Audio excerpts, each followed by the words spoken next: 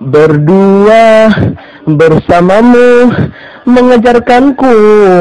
Apa artinya kenyamanan, kebersihan, keamanan, cinta